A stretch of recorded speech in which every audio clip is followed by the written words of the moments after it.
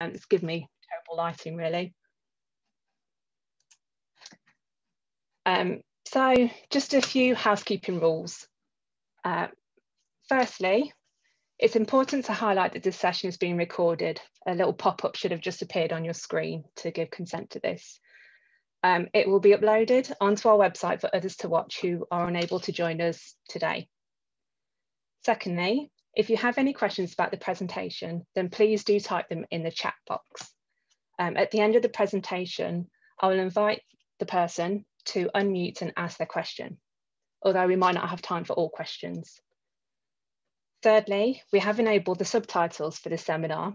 You can turn this function on should you require it at the, with the live transcriptions box at the bottom of the screen.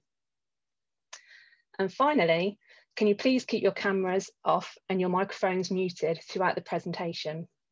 Uh, once the presentation is over, however, it might be nice if you want to, to turn your cameras on so that the, the speaker can see everybody. So now it gives me great pleasure to introduce to you our guest speaker, Professor Merryn Gott.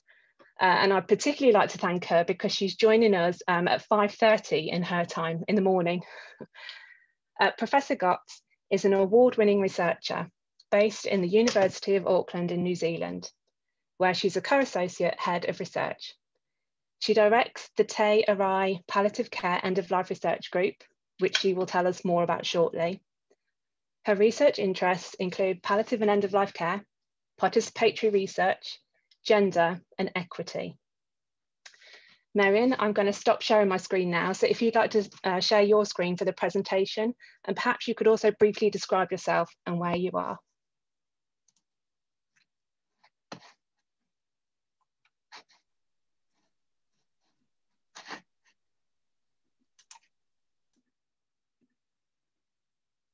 Okay, well, Morena Kaito, um, from a very cold and dark New Zealand. Oh, I I'm can't hear you, Merryn. Does, is anyone else having that? Okay, I'm not quite sure why that is. I'm not on mute. I can hear. Oh, I can hear. I can hear you as well. Thank you. Okay, thank you. So sorry, Nicola. I don't know why you can't hear, but it's obviously something your end, I'm afraid. Um, hopefully you can get that um, sorted out. Um, but yes, Morena, um, good morning, um, good evening to you. And I'd just like to begin by thanking Nicola very much for inviting me to speak to you, even though I had to set my alarm for 5.15 a.m. Um, it's always great to have an opportunity to talk about a topic which I feel so passionately about. Um, and thank you also to Nicola for introducing me to the idea of describing myself. Um, I think we're in the equity space, we're always learning. So that's um, a new learning for me. So I've got blonde hair, um, I'm white, um, I'm sat in my um, sitting room in in New Zealand. I've got my dog behind me, but you can't can't see her. And I'm wearing a jumper that I've knitted myself for knitting fans out there, that's the Sippala pattern by Caitlin Hunter. Um, my Twitter fans will know that I got quite into knitting during, during lockdown. Um, so I'd also like to just say, if there's any issues with the technology, please do let me know because it's great to have this opportunity to connect with you um, on the other side of the world but it is quite a strange mode of presenting. I'm not sure I'll, I'll ever get quite used to it. So if there are any issues, please do let me know because I'd hate to get to the end and realize that the only person who'd been listening was my dog. And to be honest, she looks quite asleep and I'm not sure she's listening. Um, so I'd like to just start by talking about myself. And that's not because it's something I feel particularly comfortable doing. Um, I did a PhD because I like sitting by myself in libraries and reading, and I thought an academic career would provide a lot more opportunities to do that, um, but that has not turned out to be the case. But I think it's really important to, when we're talking about equity, to start with ourselves because we tend to start with the other, the disadvantaged, the marginalized, the vulnerable. Um, and in framing the issue like that, we put the problem onto other people. Um, and for those of us who have significant privilege, we fail to recognize this and we fail to see that we are part of a system um, which affords us privilege. So I think it's really important to start um, by thinking about ourselves. And that sort of approach is in line um, with the work of colleagues from the University of Auckland, such as Elana Curtis and colleagues, and I should say all the references are, are at the end of the presentation um, and they will be on our blog as well. But she talks about moving from cultural competence, which really has been around um, sort of learning the cultures of other people, um, to cultural safety, which is really starting with ourselves. So in thinking about privilege, I thought I'd start with thinking about, well, why, why on earth um, do people want to listen to what I've got to say? Um, and I suppose being a professor um, gives you some sort of social um, license really to, to make people think that you might have something that's worth sharing. I have to say, I'm not sure I've become more interesting since I've become a, a professor, um, but you know, there is that status attached to it. Um, and so it's interesting to reflect on sort of how my social position has supported me um, into that. So I think firstly, the fact that I am white has certainly um, been an advantage. So in Aotearoa, New Zealand, 85% of professors are, are white, um, despite the fact that really doesn't represent the demographics of the population. Um, and in particularly um, the obligations of, of the government in relation to the Treaty of Waitangi and, and responsibility to Māori. Um, work by Tara McAllister and colleagues um, at the University of Auckland showed that actually only 2.6% of professors in New Zealand are Māori. Um, and Sereana Naepi um, also added to that um, by identifying that there's only actually five um, Pacific Island professors in the whole of the country, all of whom are men, which brings in the issue of gender as well and, and reflecting on gender.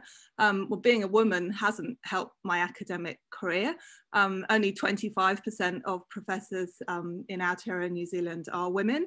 And over the course of our careers, we earn on average $400,000 less than men and $200,000 less for doing the equivalent job. But I'm a cis woman. I use she, her pronouns. And that gives me a massive advantage over colleagues who are trans women. I don't know how many trans professors there are in the country, but um, my guess would be none.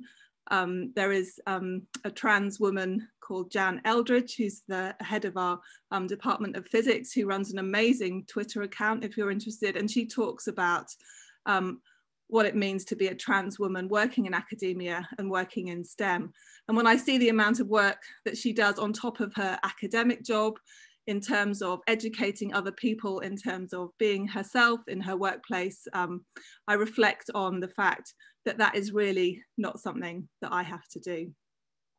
I think the other thing um, that I'm aware of is that as a white woman speaking into this space is much easier for me um, and doesn't open me up to the sort of um, discrimination and abuse actually that, that colleagues have received. So just last week, um, a colleague here, a Pacific Island academic, an amazing woman called Jemaima Tiatia, um, spoke about um, being a Pacific woman within academia, within um, a system that is really set up around Western valid values and, and prioritizing Western knowledges and she received a, a horribly abusive message on her answer phone, um, which was incredibly racist from an older white New Zealand woman. Um, and, you know, I'm very aware that I haven't ever received um, any reactions like that. You know, I am met with disbelief sometimes, and I will talk a little bit to that, um, but I'm certainly um, not opening myself up to that sort of vulnerability. And that's something I think I need to be really aware of. So I moved um, to Aotearoa, New Zealand, um, 11 years ago now. Um, yeah, it's quite quite a long time. It's, it's, amazing how quickly time time passes. And when I moved to New Zealand, I, I thought I knew quite a lot about equity in research. Um, so my um, original undergraduate dissertation looked at how people with HIV and AIDS use primary care services in London. Um, I used to work in a hospice with children with HIV, which is how I got interested in palliative care in the first place. My PhD moved me into critical gerontology and I became really interested on the in the impact of ageism, particularly on end of life experience. Um, but really moving to New Zealand was a game changer for me in terms of how I understood what it means to work um, in, a, in an equity space. And I'd just like to acknowledge my colleagues. Um, these are some of my colleagues from the Te Ārai Research Group, and particularly the wahine or, or woman um, on the left of your screen, or maybe the right of your screen, sorry, it's a bit, it's a bit early, um, with a beautiful um, Moko Kauae tattoo, um, Dr. Tess Moeke-Maxwell. Um, she helped me co-found the Te Ārai Research Group together with um, support from Kaumatua or Māori elders.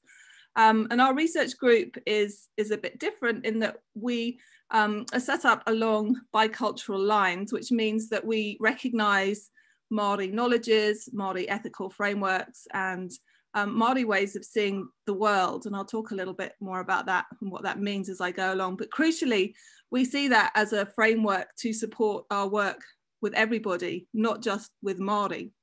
Um, and I hope as I talk, you will see how this approach can support work um, with other minoritized um, communities as well. And so if you want to learn more about our research, our research group, um, we've written a paper about that. And um, this is our, our new logo, and this kind of helps explain a little bit about our names. So on one side, we have the huia, which is an extinct um, New Zealand um, native bird. And the other side, we have the tui. Um, and in the middle, we have the marae or the Māori meeting house. And the arai is the veil, um, and that's both a, a, physical space, so that's um, a space at the back of the marae where you put a dead body um, when, when, the person has died, but it's also a metaphor for sort of the, the connection between this world and the next. The other thing to say is that moving to New Zealand really helped me see our health system in a different way because what really struck me is I traveled for 24 hours to the other side of the world um, and the health system and, and the hospices that I went to visit were just so similar, even though the cultural composition of the population was really different. So that just really made me reflect upon, certainly within the New Zealand context, how palliative care can be seen um, as a product of colonialism, really. Um, and that's not to say that there isn't excellent examples of care happening and excellent examples of very culturally appropriate care. And I'll speak to that a bit more in a minute. Um, and, and just to be clear, I, I don't think those two things are mutually incompatible. And I think um, people react to what I'm saying because they, they feel that they provide excellent and appropriate care. Um, but I think we really need to be critical of the systems that we work within. Um, and in this space, we always have to be critical of ourselves. So I'm drawing on a selection of studies while I speak. Um, and I could have spent, you know, the whole presentation talking in depth about each of them.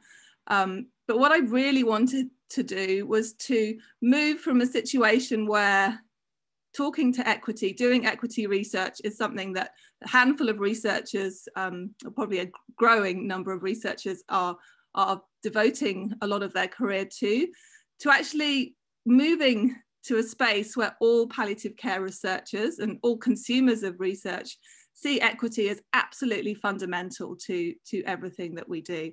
But I'd really like to acknowledge my colleagues. I'm really fortunate to work with some amazing people um, I'd like to shout out to Naomi Richards, um, who I think is online. I don't think any of my um, New Zealand colleagues are out of bed yet, um, or well, they might be out of bed, but I don't think they're, they're working.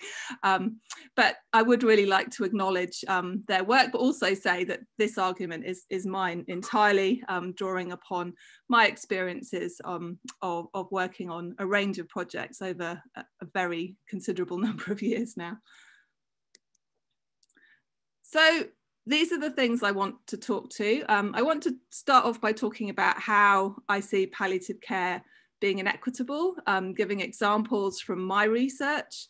Um, but I also want to move beyond that as well. Um, and I particularly want to sort of pause before thinking about what happens next. And I want to talk to the fact that I think there's a real need to actually stop and reflect before we think about how we move to promote equity Um, and I'm talking particularly into the research space because that, that's my area. Um, but I think what I'm saying also has applicability to practice and policy as well. And then finally, as I said, I want to argue for a paradigm shift um, where we move to a situation where equity is routinely integrated into everything we do in research.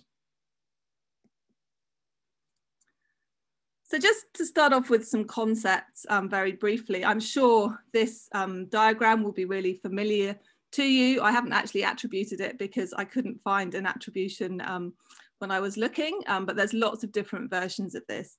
Um, and it really talks to how we think differently about equality, equity, um, and you'll have seen in the title of my talk, I, I, talked about social justice, which is one of the sort of defining values of, of the Te Ārai research group.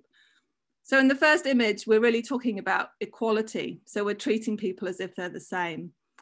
Equity is supporting people um, to have a more um, to understanding they have different needs in terms of, of reaching that endpoint. And the third image around um, social justice is around actually removing the barriers.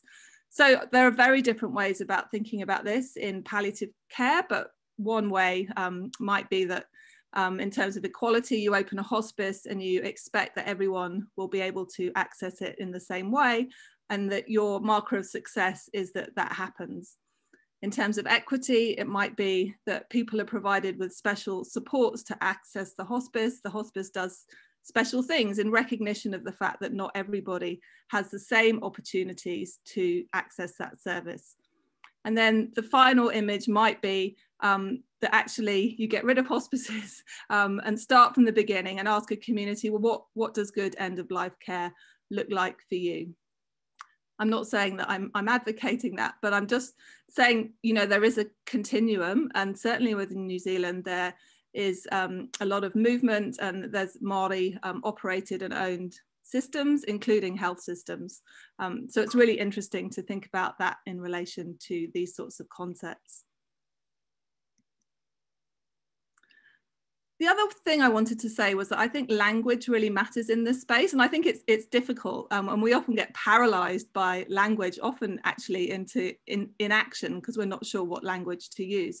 Um, but one thing I think is really important to recognise is that it's those with the greatest social power who define the other, um, and what I think we really need to be moving towards, particularly in research, is making sure that those groups that we work with who um, have been minoritized um, by, by social structures have um, some ability to actually define what that language looks like. So for example, the work we're doing in deprivation at the moment um, has been really interesting um, because we've got projects going in in New Zealand, led by Jackie Robinson, and Scotland, led by Naomi Richards. Um, and it's been really interesting using the word deprivation, which is a word we had to use for our funding to speak to other academics. Um, but actually, that's had not much resonance, um, certainly in the New Zealand context with the people that we want to work with. There's actually, you know, people don't like that term at all. Um, and in Scotland, we found that what deprivation meant to us within the context of the project, which was really about the one in five um, households in the UK who are experiencing poverty. Um, that that actually is not how the health professionals we've been working with have understood deprivation, and they've been thinking much more of people who are ex um, experiencing very extreme poverty um, and homelessness.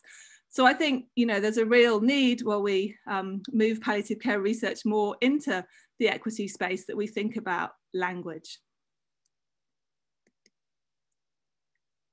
I think the other thing that I just wanted to highlight is that um, a lot of the privilege that's inbuilt into our system is completely invisible.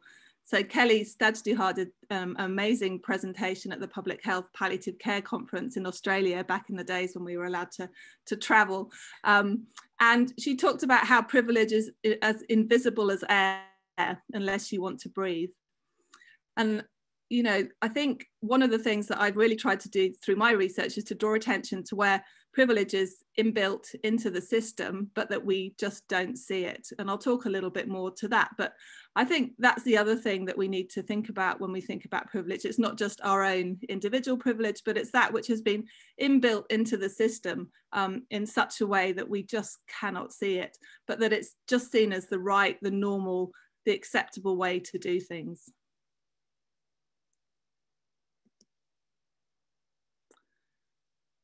And we've done a few analyses. I led a paper around gender, um, and we've also just finished a paper which hopefully um, will be published soon around deprivation. Um, and sort of our conclusion from scoping out what's out there, um, and also from, from my research experiences over the years, has been that the imagined palliative care patient around whom policy is formulated um, you know, lives in secure housing with family support, is white, middle class and male.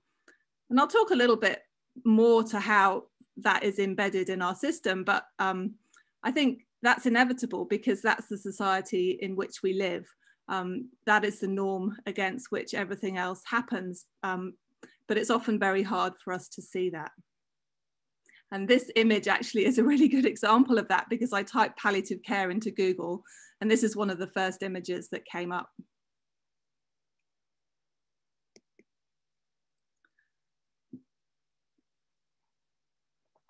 Okay, so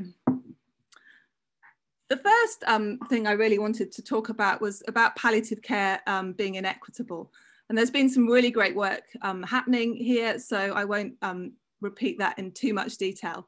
But I really just wanted to draw on my research to talk about inequities in terms of access, policy assumptions, and end of life experience. So I've done a lot of work that's shown that the there is inequities in access to services. Um, and this is just one example from Helen Butler, who works with the Te Ārai research group, who found that people with serious and persistent mental, mental illness are 3.5 times less likely to receive specialist palliative care compared to the general population. Um, in terms of access to generalist palliative care, we found, um, unsurprisingly, well, we know that there's a lot of evidence that the inverse care law operates within primary care, um, and we've explored how that's extending into the end of life um, area.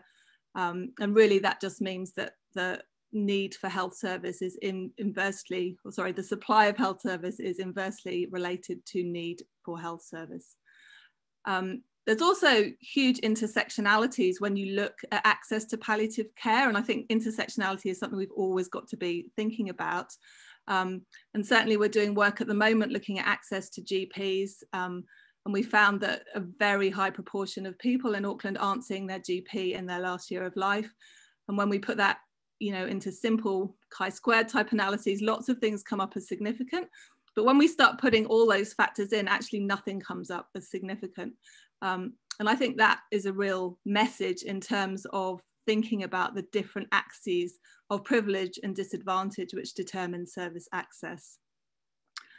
I think there's also a real danger um, that we perpetuate inequities with some of the ideas we have around, um, as I said, um, sort of normalized palliative care. So Jackie Robinson's work on hospitals has been really interesting. She was actually the first person to look at what benefit people get from hospital at end of life because no one had asked the question before.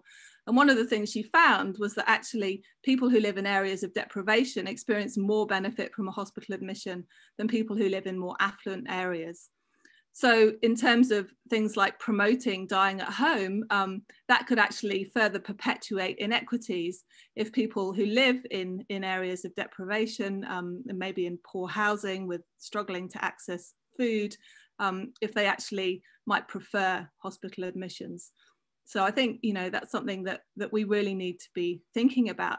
It's interesting to think about the nature of end of life care. Um, again, the gender analysis and the deprivation analysis found that certain groups um, are more likely to receive sort of what we call aggressive or um, more interventionist end of life care, things like um, chemotherapy at the end of life and so on.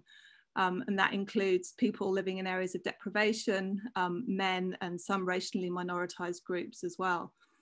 Um, and it's really interesting to think about how preference feeds into that, but also how particularly maybe for people who haven't experienced good access to services throughout their life, how maybe, um, you know, they're very concerned that they won't get the good care or the level of care that other people will. And so they, they you know, they ask for a, a particular level of care. But that's something that really needs further exploration. Um, policy assumptions and, and philosophies of care. I mean, I think there's, there's obviously been some really good work in this area. Um, Erica Borgstrom's work around choice, for example, and, and there's more people now sort of talking critically about home. Um, but I just wanted to share this quote from Margaret Mitchell, who's the photographer we're working with on the project in Scotland.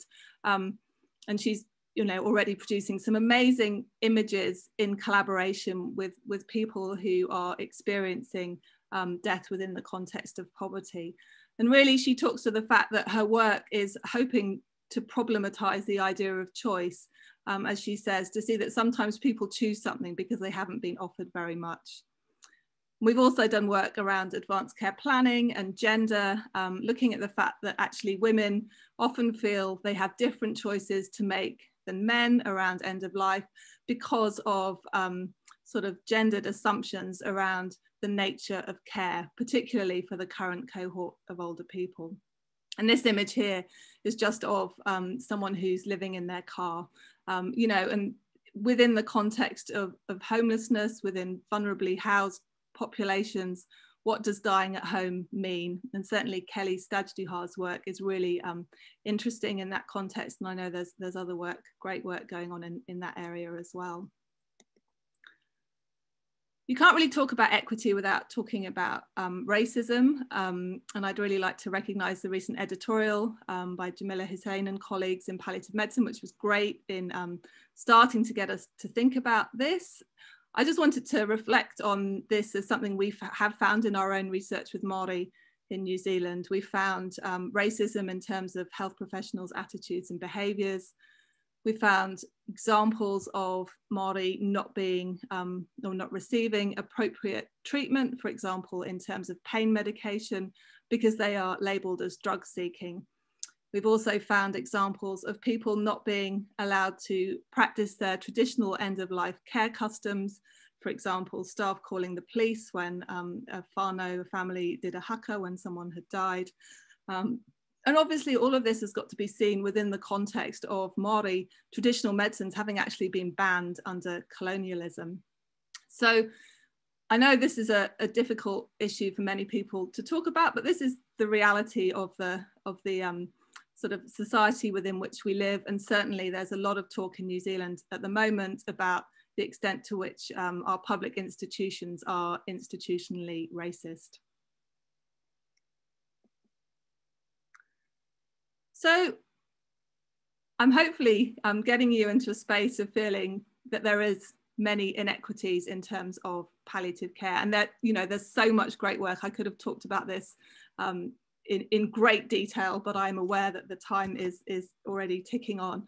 Um, but I guess my key message at this point was that I think particularly those of us that work in palliative care were drawn to this area because we want to help.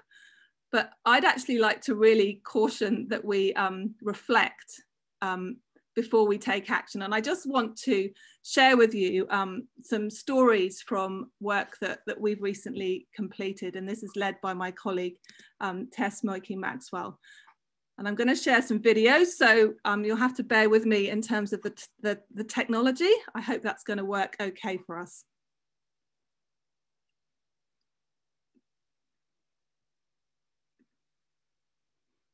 So I think I have to share a different part of my screen now.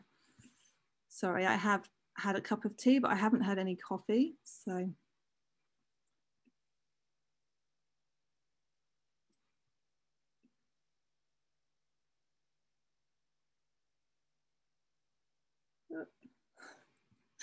Sorry, I'm trying to do this off my laptop and I cannot find my Zoom link.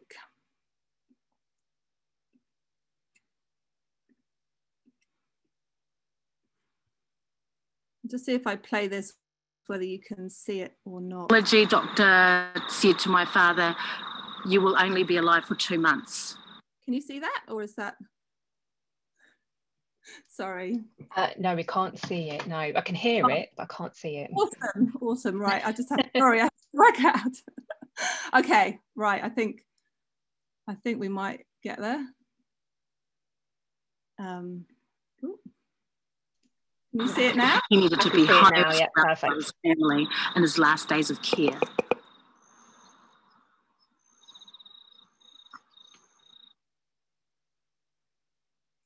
Apologies. I asked Dad, Dad, would you like to come home? And he replied to me, Coming home to what? There's nobody here. And it was true. The house was a shell. There was no toilet. We had no water access and we had no power. We had a lot of work to do. I say we had to bring color back into the house. We had to bring love, laughter, love, and more family. I was reaching out to the family that I hadn't reached out to in years, and they were coming and they were coming so hard. It was amazing, overwhelmingly awesome. So that, that gravitational pull, that pull towards home, took us back to dad, took me back to dad, and dad took us back to our papakainga, back to Te Tii. So that was us. We made our journey from Auckland to Te Tii, Mangonui, uh, Ngāti Rehia. And going back to, to the Papakainga, just just connected, it was that connection with everyone, everyone else's vital life forces which came in. It, it was a puna, a well that we could start accessing. Can we use your shower, your amenities, yes, yes, was the doors were opening to us, which made this job of looking after our father so much more easy. Everyone knew, we all knew what our role was. We just jumped into the role and we just did what we needed to do to complete the jobs, our roles, but to uplift and to whakamana dad. And I believe that being back home, that was the whole purpose of being back home, was that to uplift him the love between two daughters for our father, we gave him. I was blessed enough to be there to watch it unfold in front of me. Oh,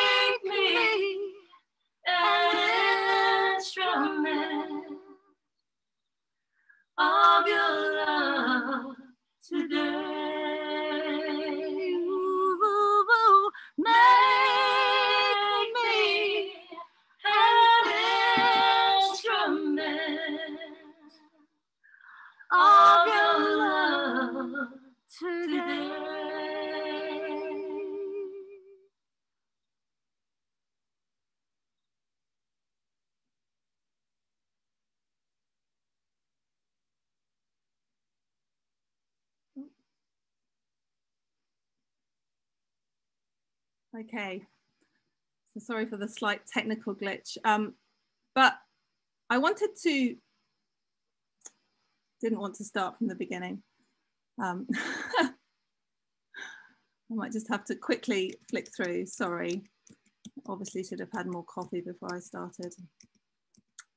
Um, but I wanted to share that digital story with you because um, I think there's a real danger that we rush in and we try and fix other people. I think that's the real risk in the in the um, equity space. And that was a story taken from a project which was looking at Māori end of life care customs, um, led by Tess. Um, and it came from our kaumātua who were concerned that these customs were being lost. And that story could have been framed in lots of different ways. It could have been framed um, in terms of experiences of poverty um, at the end of life. It could have been framed in terms of um, racism. It could have, you know, there were lots of different framings it could have had, but actually the framing was positive. The framing was about the strengths of that community um, and the strengths of those um, daughters who created with support um, a very um, amazing end of life experience for the father that they loved.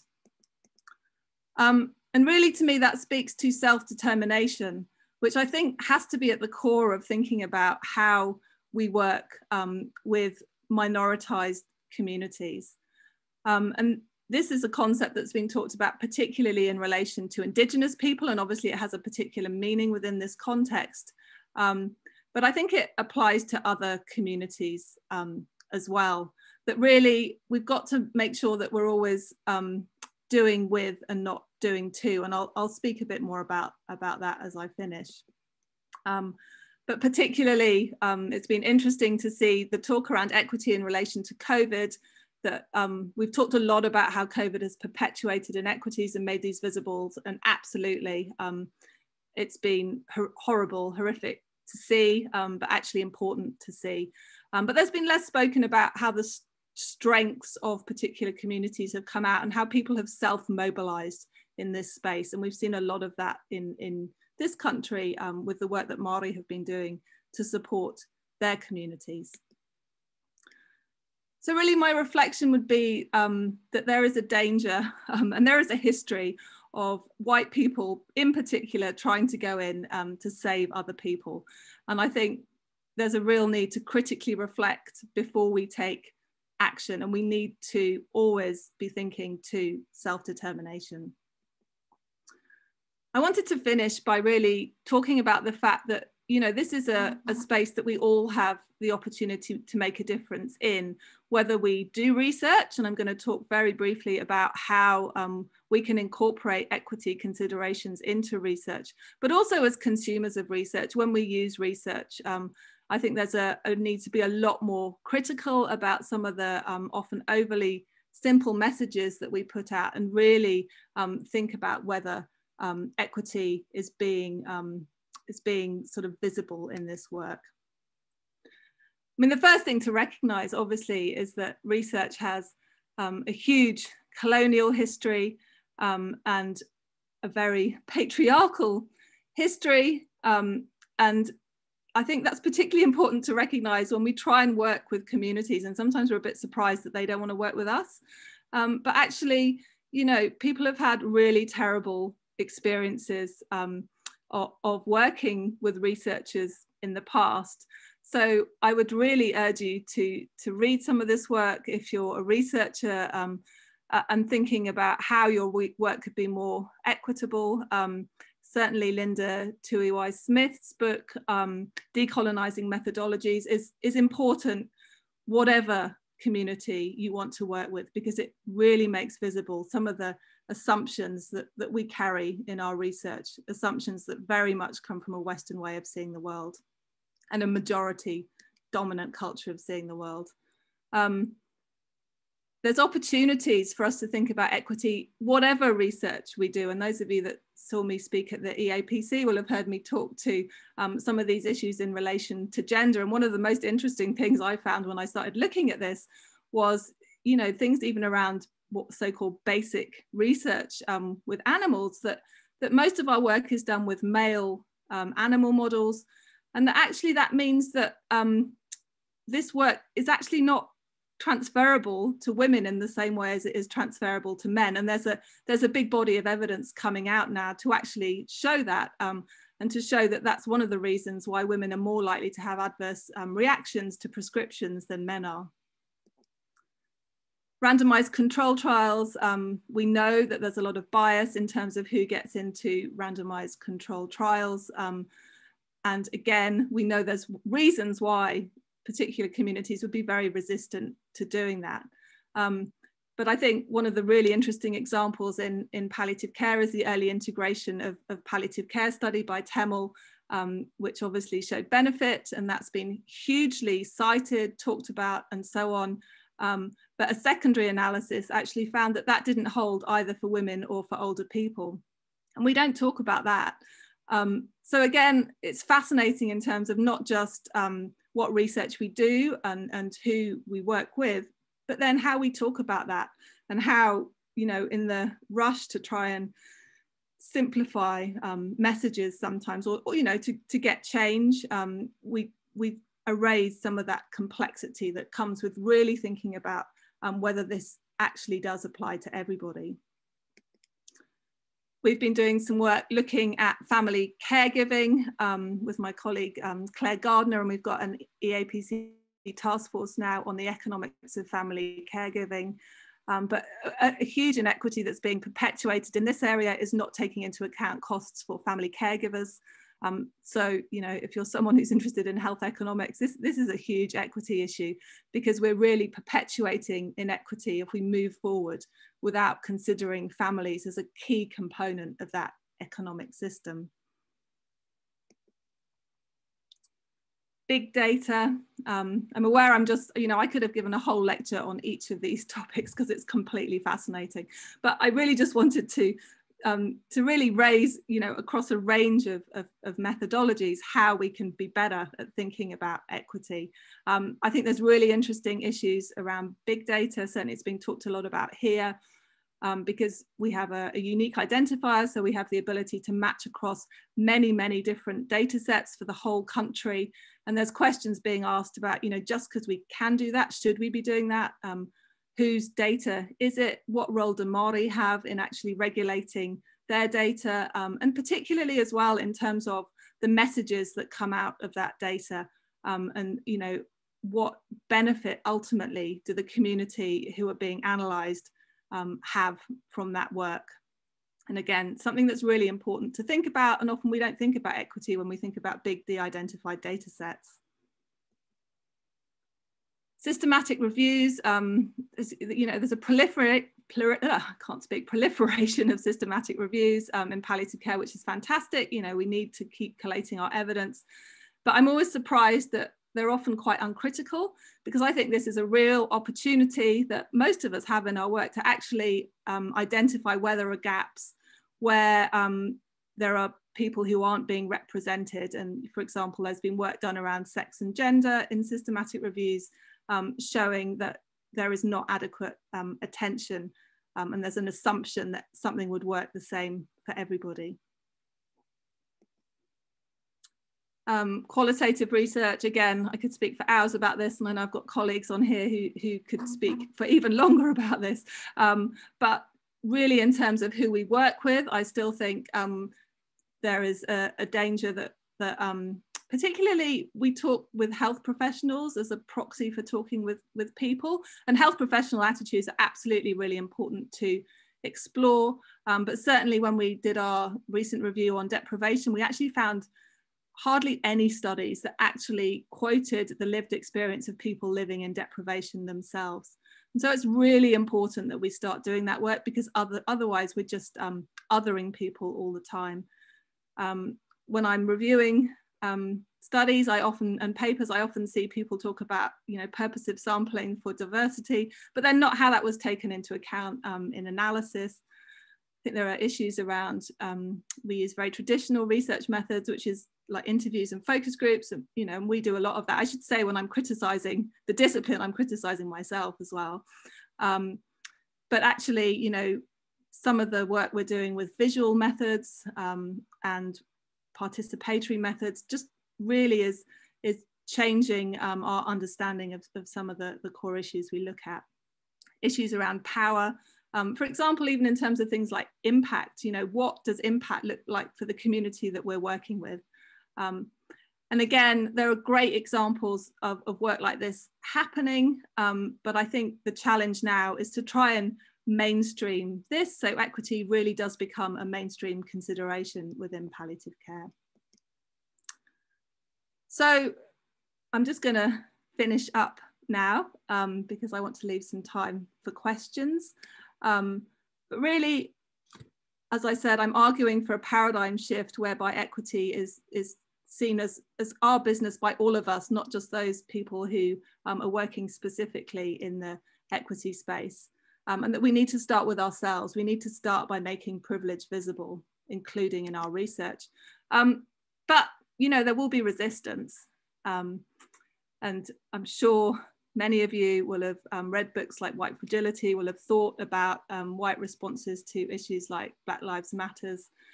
Um, and there will be difficult conversations potentially because, you know, we're not a well-resourced sector anyway and if we're talking about equity that can mean certain sectors losing resource you know what does that that mean both within research but also for our services as well. Um, and I would say there might be a special kind of palliative care fragility as well. Certainly I've met um, quite a lot of resistance over the years to some of the things I've, I've said. Um, and really that's been in the form of denial. You know, I remember a woman saying to me when I was talking about um, palliative care and dementia that hospices were not meeting the needs of people with dementia as, as they should, um, you know, really being attacked that they did a great level of care in their service. Um, so I think, you know, a huge part of this is, is getting over our discomfort um, with feeling like we're not doing as well as we should be because we're not, you know, we know the inequities are there. Um, this is just what I've learned about being an ally because I think moving palliative care into a situation where equity becomes a mainstream concern, a lot of that will mean that we have to learn how to be good allies.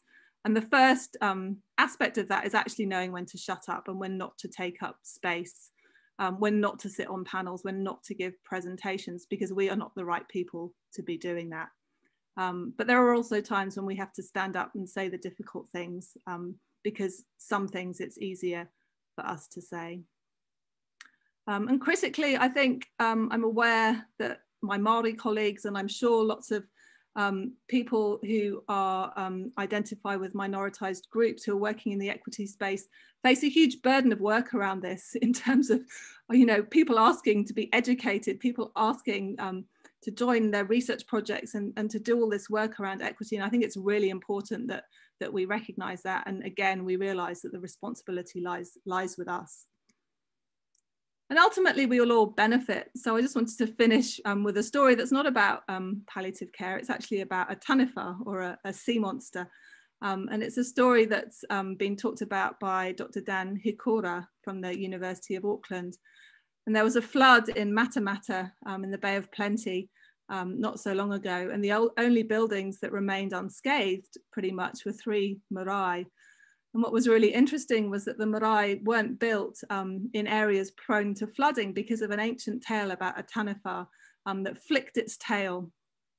Um, and Dan talks about how, you know, ancient knowledge and wisdom was actually contained within that story, within that pūrākau, um, but that that was dismissed by Westerners, you know, Western ways of seeing the world because it was not expressed in a way that was seen to be scientific. Um, and I think, you know, one of the most rewarding aspects of my career has been having the privilege to learn about different ways of seeing the world, both with Māori, but also with a lot of other groups um, that I've worked with over the years. And really that's where I'd like to end by acknowledging um, the work of, of others, um, the researchers that I work with um, and our participants as well. Um, and just to say, you know, this was meant to be a bit of a provocative um, sort of where to from here. I'm not claiming I'm an expert in this space at all. I'm very much learning, but I just wanted to share some of the things that I've learned so far. So thank you very much and happy to take any questions that you might have. Thank you so much, Merryn. Um, I think before we move on to questions, um, did you want to stop sharing your screen for a moment? And there we go. Uh, and if everyone is comfortable to uh, sort of show their cameras and unmute so that maybe we can show our appreciation for Merryn. Thank you, Merryn. That was really interesting. Thank you. Thank you. Thank you. Thank you. Thank you very much. It's so nice to see everybody pop up. Um, I think if anyone has any questions, then do feel free to either write them in the chat box and I can read somebody's name out, or if anyone wants to put their hand up and ask their question directly.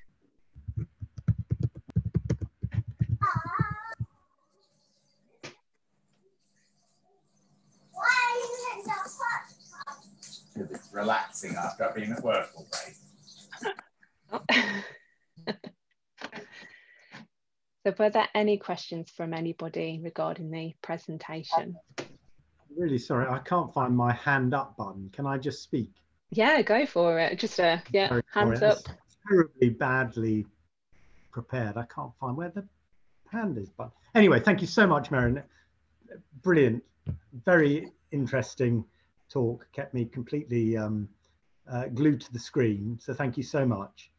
Um, I suppose you've laid out the problem really well, um, and you've talked a little bit about some of the things that we could do to improve things. Uh, do you think there's any low-hanging fruit, if I can coin an expression? Is there anything that you think that hospice services or palliative care services could do uh, fairly painlessly that would make their services more uh, equitable? Um, I think listen. So I think actually listen to the people who uh, should be using the service. Um, in terms of services, I would, yeah, it sounds a bit simplistic, but often I think there's consultation, but there's not genuine listening, and there can be a level of defensiveness around um, what what has been found. Um, I think you know thinking more about research, um, things like um, we're thinking about trying to develop some sort of equity checklist to support us when we publish in terms of, you know, are we actually um, really, you know, prompting us to, to think about all the things we should be thinking about. And we've, um, we've done one around gender, um, but, but, you know, actually getting journals to, to adopt that sort of thing. Um, and something we do in New Zealand around um, equity in our grant applications is that we have to talk about how the research will um, promote the interests of Māori. And we also now have an equity space where we can talk about um, things like disability, um, other equity dimensions um, as well. So I think, you know, actually, we actually have to mainstream these things and we actually have to build them into our systems. And I'm sure there are equivalents in terms of service provision, um, it's not really my area, so I can't speak um, to that, that more specifically, but certainly in terms of thinking about how services are commissioned, you know, having equity as a central concern has to be a priority moving forward. I don't think we can carry on with an inequitable status quo. Thank you.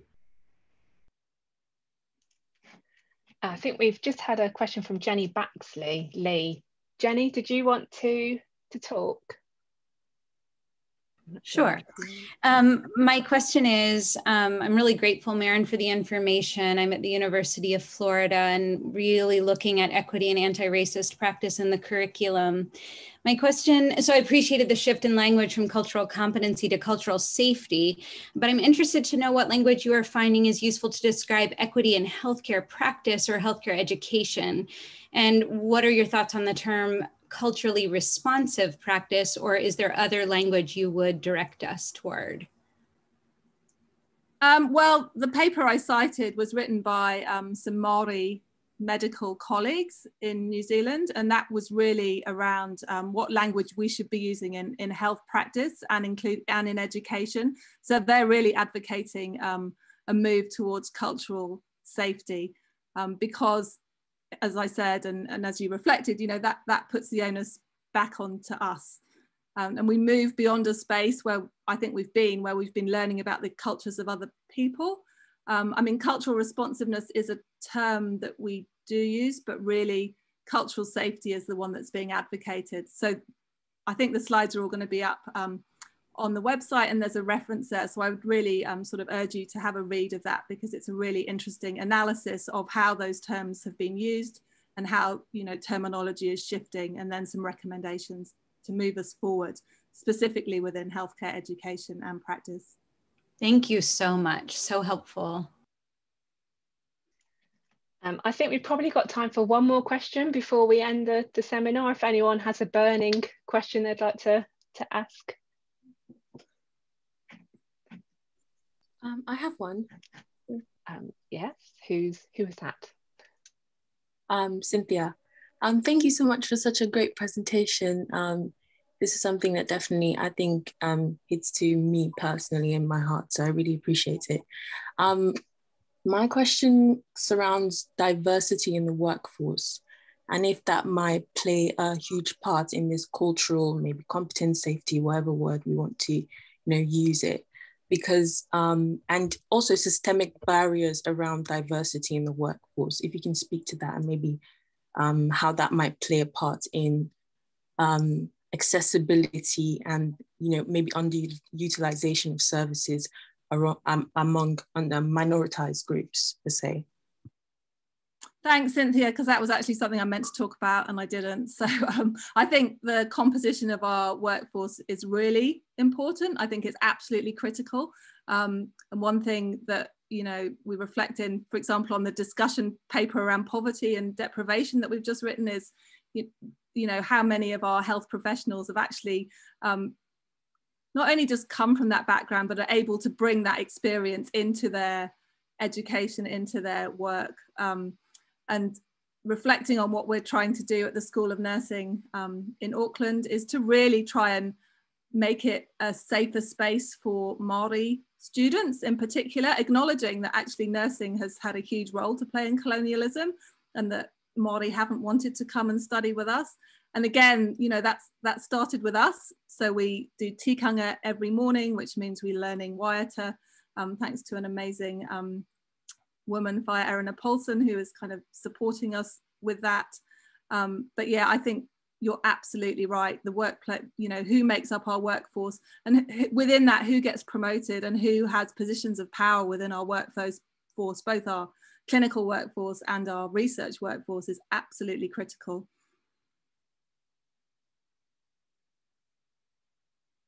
Thank you. Uh, that's great. We have had a couple more questions, but it is getting quite late now. So I think we'll wrap it up there and just say thank you again, Merryn, for such a thought-provoking and brilliant presentation at 5.30 in the morning as well. Um, Thank you uh, very and I, much. thank you. Um, yeah. And I just wanted to remind everyone that we have the next seminar coming up in autumn time, so keep an eye out for that. And if you want CPD to contact Elana as usual. So see you next time and thanks again, Merryn. Welcome. Really, really great to have Thank you, Merryn. Thank Very you. good. coming on. Thank you. Thank you. Very much. Thanks, uh, thanks, Nikki, for organising. Very good.